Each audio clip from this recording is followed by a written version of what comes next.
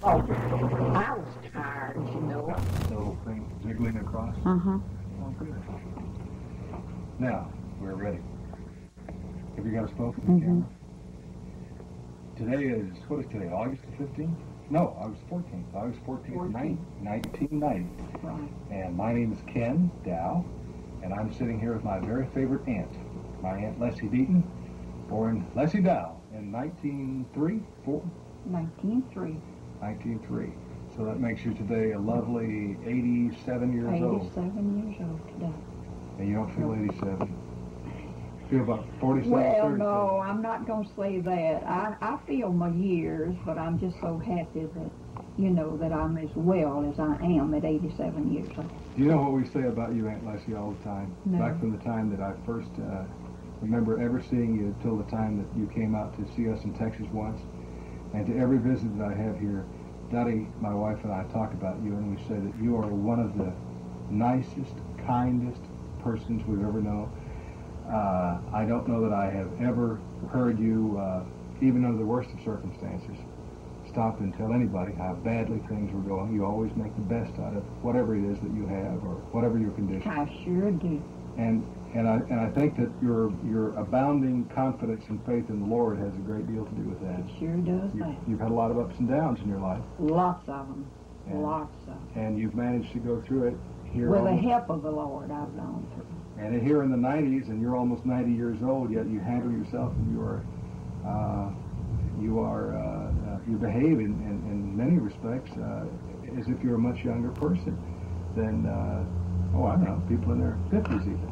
What I appreciate you That's what I thinking think that. Now that I've said all these that. good things about you, well, I wanted to talk to you because for the family, you were the oldest child. That's of right. Eight or nine?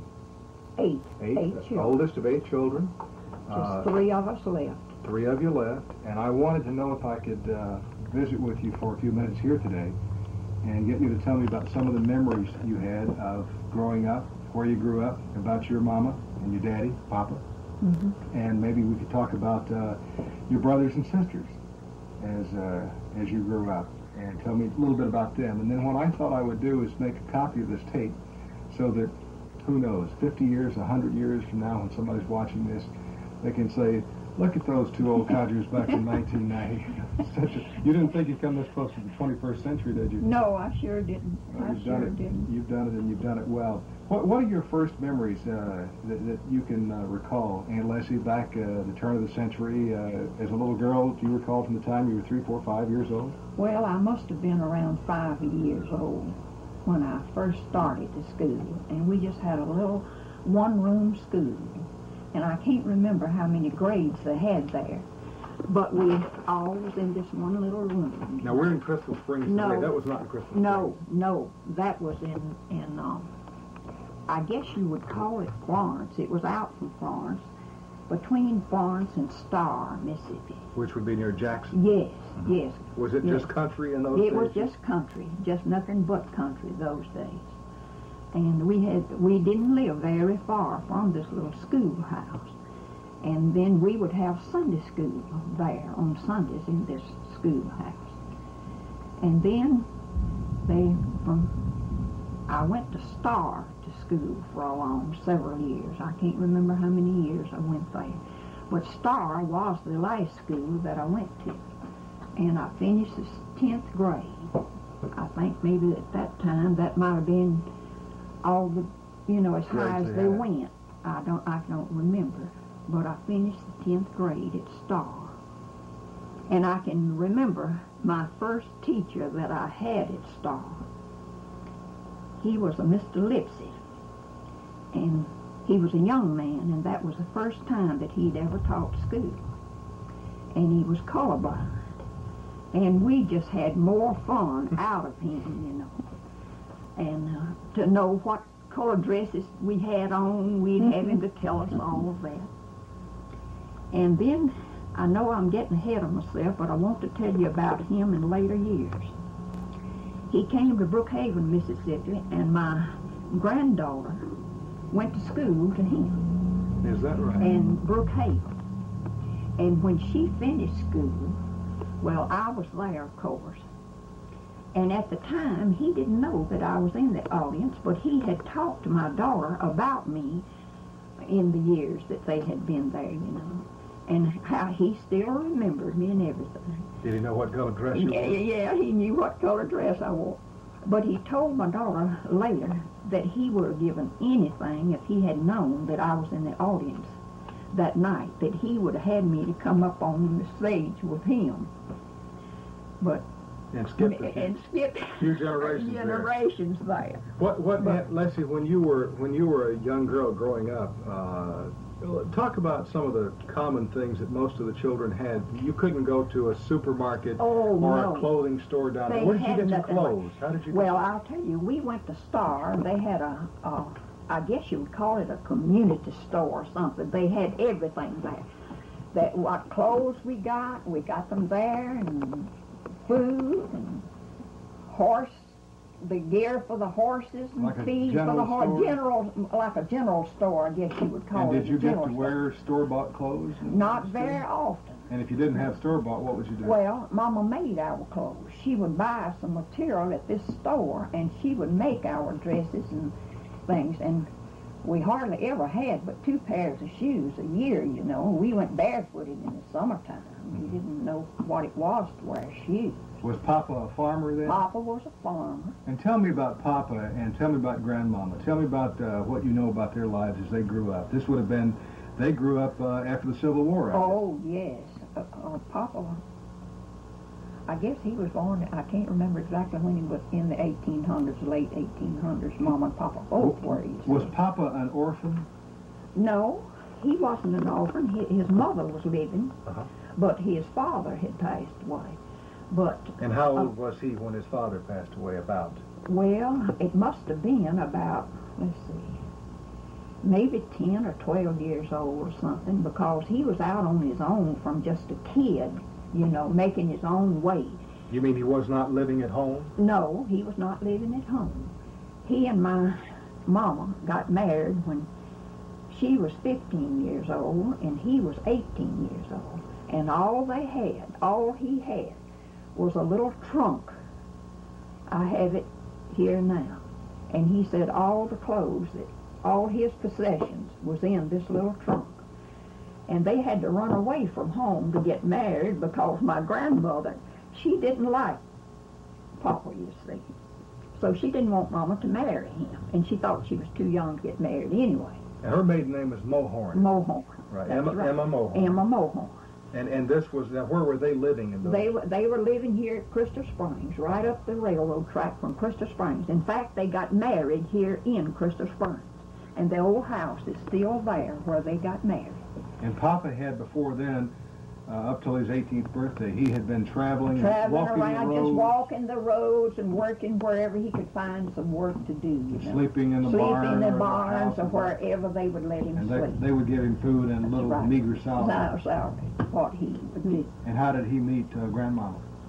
Well, I think maybe the, uh, my grandmother was working on the same farm that he was working on or something, and Mama met him that way. And uh, And when you say he was working on the farm, he was really working. I he mean, was really picking working, peas picking or- peas and hoeing cotton or picking cotton, whatever they had to do on the farms.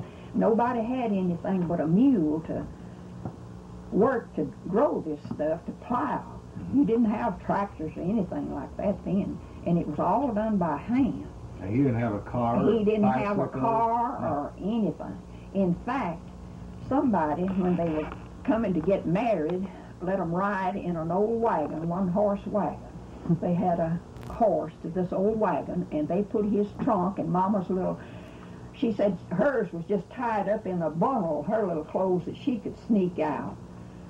And they brought him up here to the preacher and got married. And you, when you were born in 1903, where were you born? What, I was born in Simpson County, Mm-hmm. over around uh, uh, Harrisville. Not at a big hospital. No, at home. All of Mama's children were born at home. We didn't. You didn't go to the hospitals those days. And the second child would have been Uncle Dot or Isaac. Uh, uh, Buddy, Uncle Buddy, Uncle, I'm Uncle sorry, Oscar. Uncle Oscar, of Yeah, course. he was right. the next one.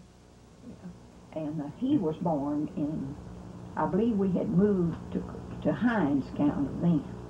up around out from Terry over that way when he was born. Were you old enough to remember him being born? No, the the only one that I, the first one that I can remember being born was Uncle Isaac.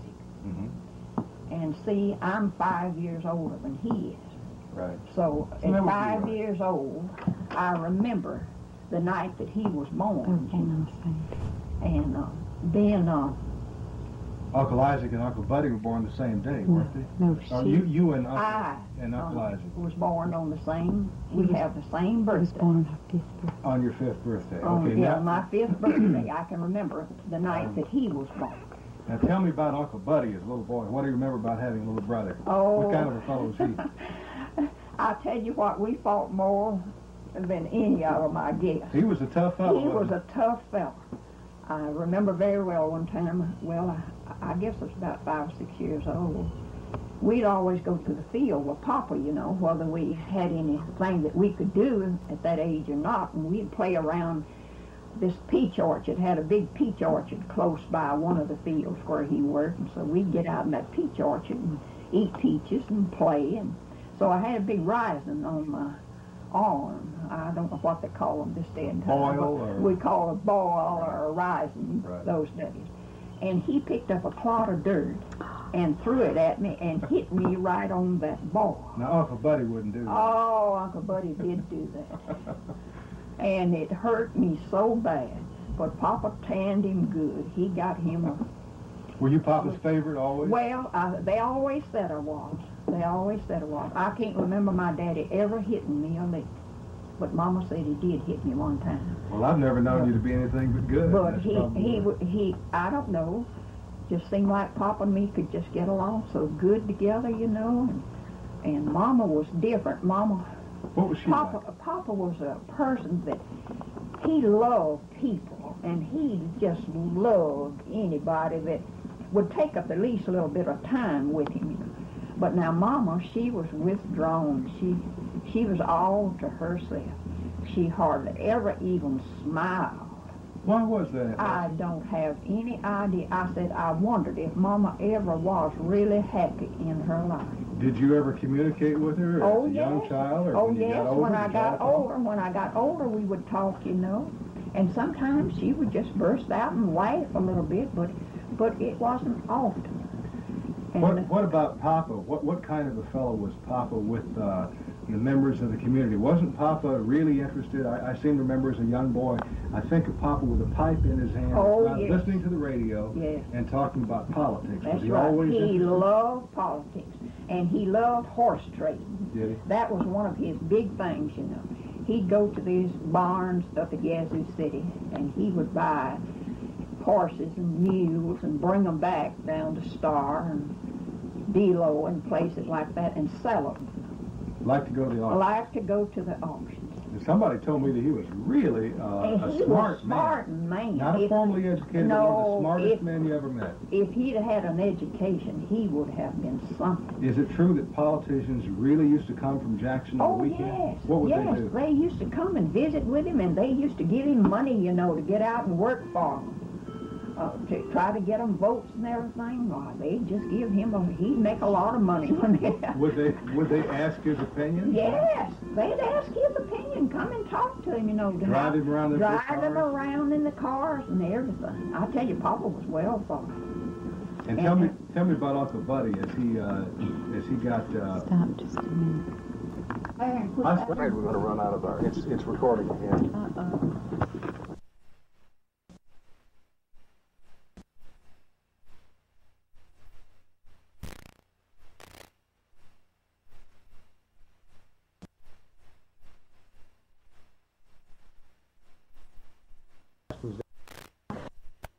Now then. So I guess. I can tell it. Tell me. What kind Well, of course, he was my brother, and you know, I, you know, I think he was all right. This to be prejudiced. yes, that's right. I, we always got along good together and everything, and well, I was always so proud of him. I was proud of all of my family, and What- still am. What was he like, Uncle Buddy? Was he fun-loving, or Well, he was fun, a lot of fun. was he rough? He was rough. Was he the roughest of the bunch? Well, I would say, well, I don't know now. We come down to Clifton, you know, the one we call Bowl. Now, I guess you'd have to say he was pretty rough when it come to that, but he was a good feller, too. he was kind of a fun-loving character, he was though, a fun-loving character. And, and I think he went to live with the Lord when he left here, too, for sure. Let's see now. That would have made. Uh, we've talked about the boys. A couple of the girls. You now uh, tell me about Uncle Dot. He was the uh, he was the boy born when you were five years old on your birthday, Yeah. and you remember that. Tell me about that day. On Jan what? I can't remember about the day, anything about the day really.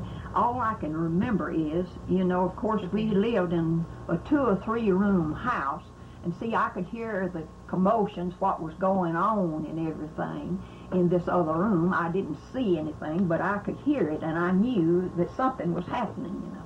So then after the doctor had left and everything, well they called me in to show me my little brother, you know, that I had a little What did you think about that? Oh, I was happy. The more we had, the happier we was. Is that is that why you think you and Uncle Dot or Isaac have stayed so close over the years? well, I just- do. I really do. He calls you on the phone Oh, now. he calls me on the phone, and, and I go to see him and call him on the phone. Now, my youngest brother, he accuses me of loving Isaac the best. Do you love Isaac the best? No, I, I, you know, I have a different kinds of love. There's all kinds of love in this world. And some you just feel close to.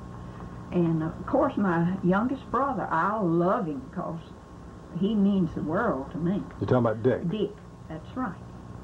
And uh, but he told me last summer sometime that that I loved Isaac better than I did him.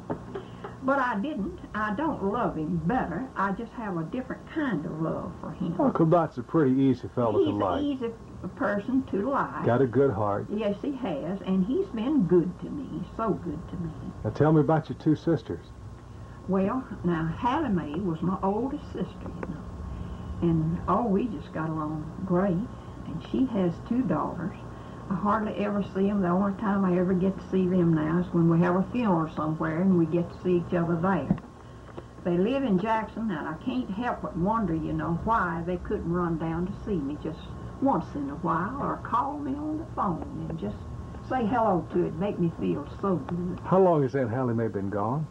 Well, I just can't remember right off. I've got it set Been a lot of years, Bible. Been several years because she died before my son died, and he's been gone seven years. Mm-hmm. And then, you know, Aunt Dolly, my baby sister, she's been gone several years too.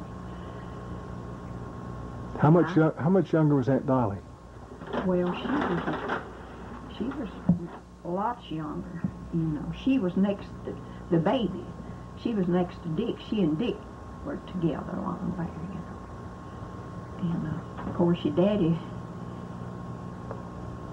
I can remember just as well the night that he was born, and I can also remember the day that Clifton was born. It, his birthday was the sixth day of August, and Papa grew watermelons. He had all the biggest watermelons. So the neighbor lived across the road, and Mama had sent us over there as kids over there to stay till everything was over over there.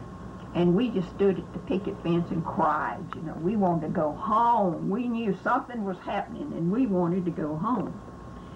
Well, after the doctor left, then well, Papa went and got a great big watermelon, and he just could get it up on his shoulder. Well, just before he got to the house, he dropped you never saw such pretty watermelon. Of course, they turned us kids out, and we we ate watermelon. So I can remember that day so good because I guess of that. And then the night that your daddy was born, let's see, I forgot what, his was November, in November, the 29th, he was born. And uh, it was at night, and the doctor came from Star out there. Old Dr. Barlow was his name. And Papa gave him a, a yearling, you know, for coming out there. The, people didn't have money those days to pay the doctor, so they would take anything that you had, chickens or hogs or calves or cows or whatever. So Papa gave him a calf for coming out there that night. What, were, what was the difference in the temperaments of your brothers and your sisters? What would they be like? Uh, were they all pretty much the same, or did they all have their own peculiar personality? Well, or? they all had their own personalities. Now you take Isaac as he, I guess he, in a way, has the most is the word peculiar personality of any of them, really. Well, that's good. And uh, but he was always there for any of us that needed him. Now, what what about Uncle Buddy? What was he like? What was Well, his? he was too. He he was. He seemed to be more outgoing than. Oh yes, he he he said what he thought. He Uh, really didn't that's- care whether you liked it or not. He said exactly what he thought.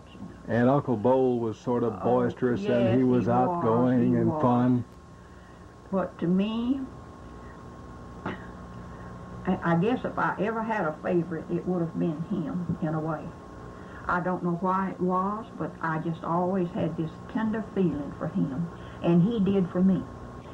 After I got married and moved to, well, before I left Gallman down here, he came, just left home, and came and lived with me, and worked on a farm there with my husband's uncle, and he stayed with us.